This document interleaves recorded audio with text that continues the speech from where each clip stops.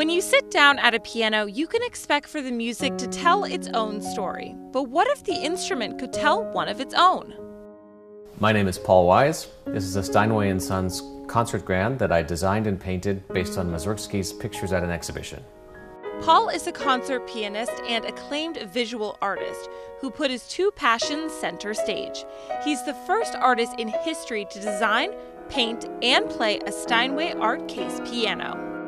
I never ever would have thought that I would do an art case piano or paint an art case piano, and it wasn't even my idea. To start off, it was Ron Losby, the CEO and president of Steinway. Wyse was inspired by the musical composition Pictures at an Exhibition by Modest Mussorgsky. Mussorgsky was a Russian composer from the 19th century who brought his country's history, folklore, and other themes into his works. He wrote the music based on drawings and watercolors done by friend and artist Victor Hartmann. The pieces have never been recovered. It's a full study of Mussorgsky's work, not just the work, but its influence over time, how it fits into our modern day society, and what kinds of uh, influences it's had on other composers um, throughout the years. So knowing all of that stuff made it made the, the project just so complicated. so many things to work out, so many things to include. Every little detail that you see on the piano is some kind of very carefully calculated and thought out inclusion of some detail about the story that I felt I wanted to include. With so many artistic and performance accomplishments, it had to be easy for Wyse to combine his two loves on a Model D grand piano. Or was it? You would think that uh, it would be uh, an easy thing to do, um, but it actually made it very, very difficult in the sense that I, I knew too much about piano playing. Um,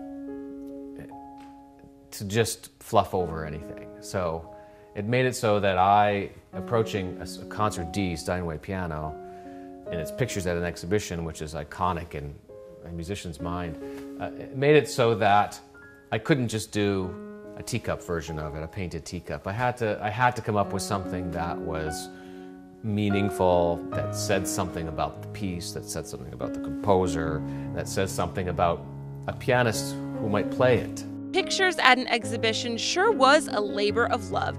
The project that began in 2012 is now a showstopper. It's a four year project, start to end. Um, most of the actual work um, of painting and um, getting these amazing legs put together are, is a two, two or three of those years. It's, it's overlapping of art and music in a, in a kind of cool way. And um, trying to sometimes draw inspiration from the pictures to play the music, and then sometimes drawing from the music to paint the pictures.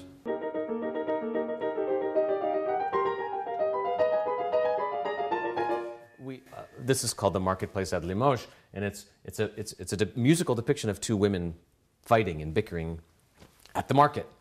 Um, and it's sharp accents and um, funny, funny little uh, you know, squeaky voices, and um, that's all we have. We, we have a, he's painted a, a, musical portrait of this painting, and that's all we have to go for. So how do I then take that music and turn it into some kind of visual interpretation? One of the, one of the things I, I, I really wanted to do was to use the piano as it is, as it, and, and try to exploit it as it is to get some effect to tell the story. One of the things that I wanted to do was use that curve, and that circle, if you will, the way that that kind of goes around the piano, to be a representation for Mussorgsky's promenade at the museum. I assure you that when you answer, when you ask a question about this piano, that there's an answer somewhere on the piano. Here's the question that we've all been waiting for.